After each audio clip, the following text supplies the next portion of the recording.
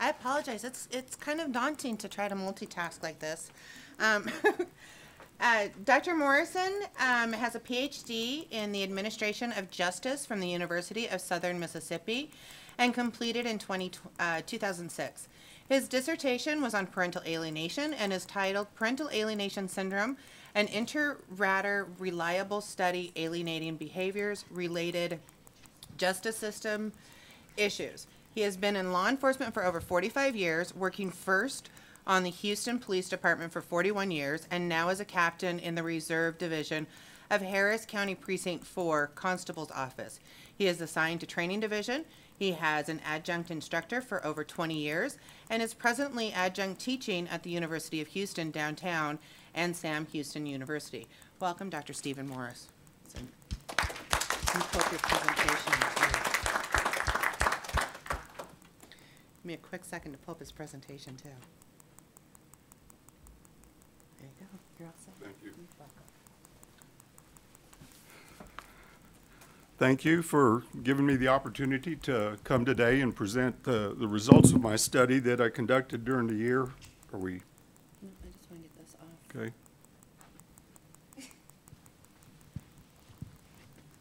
You good? You need us to change it for you? No, I can change, just the arrow down. I just was looking to see what you had done, so. All right, um, my first slide that I put in place was a little bit about my background. She's already presented that to you. Um, Picture there is me and my wife, and right now I'm raising a ten-year-old and a thirteen-year-old grandchildren, so, and that's part of parental alienation. My daughter, um, is, uh, made bad decisions in life, and so I, and as a result, I'm now the, uh, taking care of two kids, two grandkids. Um, First off, what are the five factors of the five-factor model? Wanted to go over that um, just a little bit. Uh, Factor one is the child manifests contact resistance or refusal. Um, Basically avoids a relationship with one of the parents, um, or does the child avoid or refuse contact with one of the parents? Does the child avoid a relationship with one of the parents? Um, Amy Baker created the four-factor model in the beginning, and along, uh, William Bernet came along and added one more to it, and thus we have the five-factor model now. Factor two, the presence of a prior positive relationship between the child and the now rejected parent. Uh, For this criterion, the uh, evaluator is asked to determine if there was a prior positive relationship between the child and now, and the now rejected parent. Factor three, the absence of abuse, neglect, or serious deficient parenting on the part of the now rejected parent. And for this criterion, the evaluator is being asked to determine if there is true abuse, neglect, or if there's a serious deficient uh, parenting uh, to provide an answer of yes or no. And factor four, the use of the multi uh, alienating behaviors on the part of the favored parent. Um, This is the 17 strategies that we have out there that uh, Amy Baker put together and created a list uh, that an alienating parent will use against a target parent. And then factor five are the eight manifest, uh, behavioral manifestations uh, that exist in the child. Uh, These are the original um, behaviors that were put together by Gardner in his uh, beginnings as he addressed parental alienation as syndrome. All right, on my study, uh, I began in February and I sent out um, a little over, uh, well, it's 1,116 emails to potential respondents. Uh, Those potential respondents were from the PASG group, um, the American Psychological Association, the Professional Academy of Custody Evaluators, and the Internet Search Seeking Child Custody Evaluators. What took place, there's 116, I had, when I came back out to do my second round of emails, uh, it was 739. So there's a reduction in the number of approaches that were made. That reduction was because they were bad email addresses. Continuing on, the respondents were sent a link. Um, basically, I had an email, and in the email, there were six different uh, stories. Each of those stories had some parental alienation or non-parental alienation. Uh, there were 12 demographic questions asked on the front side, the very first case that they were asked to take and look at. Um, and what's of interest is that is that 37% of those that responded to case one lived outside the U.S., thus supporting the aspect that this is a global issue and not just a U.S. issue. Uh, nine vignette questions were uh, also asked, so there was a total of 21 questions. And actually, I'm asking in this study, looking at the five questions of the five factors. Those vignettes, um, when I started my research uh, in the beginning, looking for a topic to write on, um, my dissertation, I came across Carlos Ru- Rueda's study, and he had done an inter-rater reliability study on PA. Uh, that was back in 2003, uh, and he published that in 2004.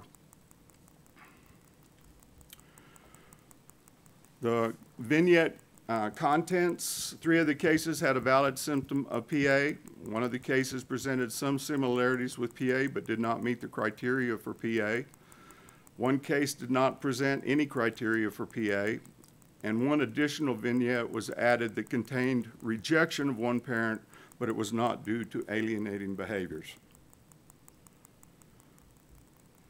And statistics on uh, reliability, uh, we looked at it from two different um, statistical techniques, intraclass correlation coefficient, which is ICC, uh, Zero is no agreement, one is absolute agreement. Um, A good reliability indicator is in the values of .75 to .90, where I have greater reliability if I'm above .90. For Cronbach alpha, I'm looking for, again, .75 to 9, .95, which are, is an indicator of reliability. That's my response rate, and I put in there in the front side, the aggregate number was 250 uh, for case one, and you can kind of see it diminish in regards to the respondents. Uh, There were 61 that responded back for case one. For case two, there were 46, uh, continuing on downward, um, 40 uh, for case three, 37 for case four. For case five, there were 32, and for case six, there were 34.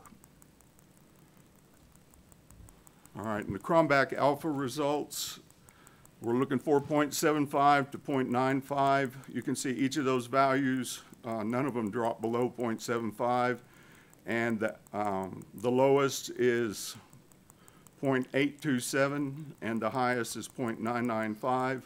And then I have an average there of a .91, thus indicating that the five factor uh, questions, asking those five questions, uh, if I have a good um, mental health professional who understands what PA is when they go in and start asking those questions, if they understand, then it is a tool that they can use to assist them in making a determination that PA may exist.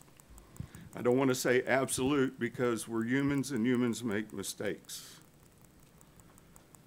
All right, the intraclass correlation coefficient, uh, my lowest value there is 0.829. And my highest is again .995 with an average of .923. So both Cronbach alpha and intraclass correlation coefficients, the results of both of those uh, suggest that there's good reliability in using the five-factor model to determine if PA is occurring. All right, now I've got questions, so I'm short. I'll let you ask questions if you want to, and then I'll do my best.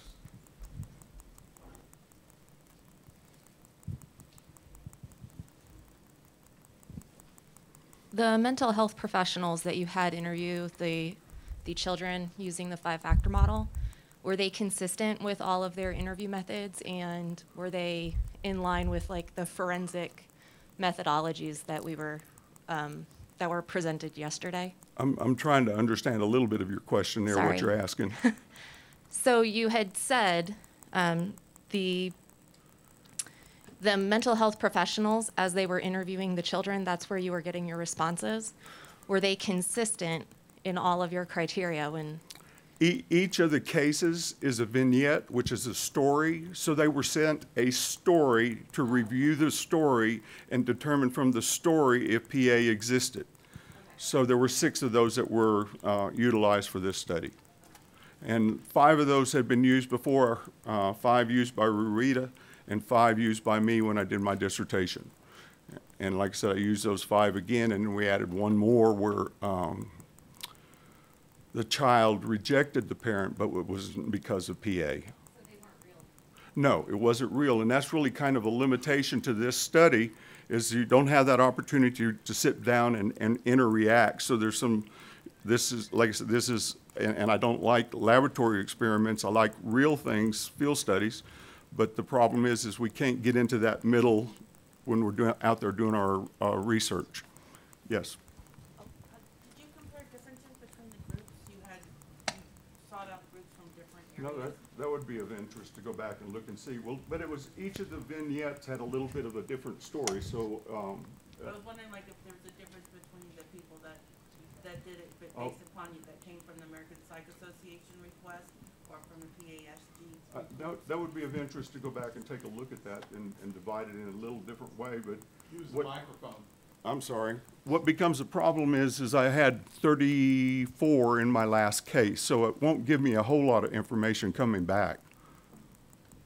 Was there um, any of the vignettes where factor one and maybe factor two weren't met because the be the PA behaviors were extreme, but they weren't successful, and would that be constitute PA? And they kind of get me to dig down into it and try to remember some of the, the, the cases. I can't really tell you that personally right this minute as to which case had what particulars. Um, it is, it's written up in my paper if you want to go back and get the paper. Uh, or you get my email address down there on the bottom. You can send me an email and I'll communicate with you that way if you want to do that.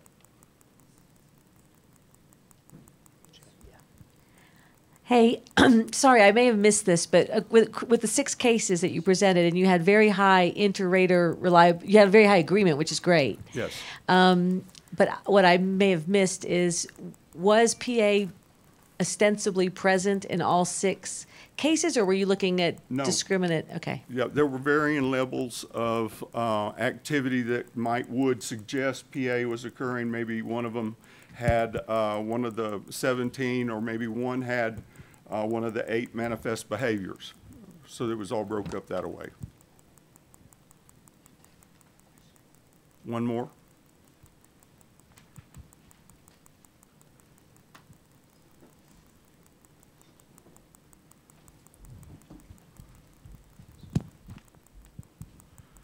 And my uh, co-researcher with me, she had some uh, medical emergency for some of her family, so that's the reason why it's me up here today by myself.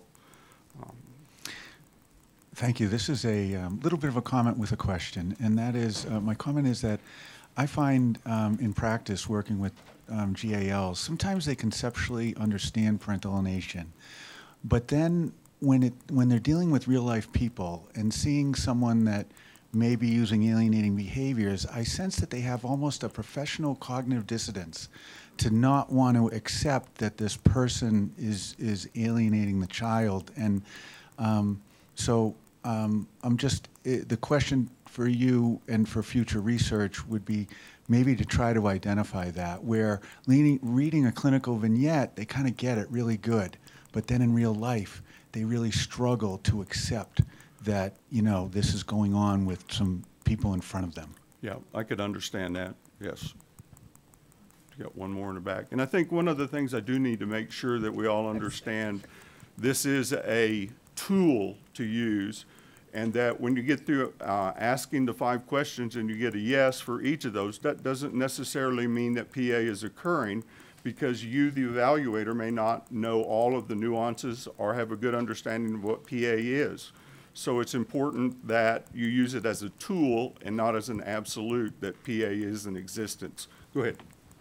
I just wanted to make a comment. So I'm I'm a court involved therapist, and I work with guardians a lot. And um, some of the older, old school, I would call them, um, when you start identifying a problem, they say, well, the way we handle it is if one person's going to get punished, the other one's going to get punished too.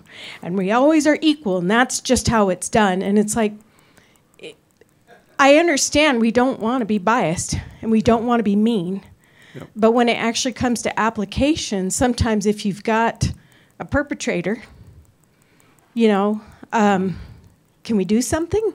And it, so it always feels like there's this culture of, well, you can't ever identify anybody because then you're just playing wrong or something. You know what I mean? Like you're being bad or critical when it's like, then you're in a bind, like, what if the children are being hurt? You kind of have to call somebody out, but we do give them a billion chances, like way above and beyond what anybody, the patience that it takes. And here's another chance, and how about another chance? How about co parenting counseling? And, and I understand exactly what you're saying because it actually aligns itself with um, our criminal justice system and law enforcement. Because when we're out there, sometimes we've got our mind made up when we see something and we don't give that opportunity for them to tell, tell us the whole story. We need to sit back and, and listen instead of jumping to conclusions on the front side. I Understand what you're saying. Good? Okay.